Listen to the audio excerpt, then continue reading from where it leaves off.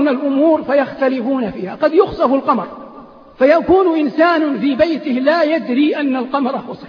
ويكون إنسان يلعب الورق في عراء فينظر إلى القمر وقد خسف فيقول لأصحابه انظروا إلى القمر قد خسف ثم يكمل لعبته. وقد يأتي إنسان في غرفته عاكف على محرم فيقدر له أن يفتح النافذة فيرى القمر فقد كسف فينظر إليه فيتعجب وكل الذي يصنعه يغلق النافذة.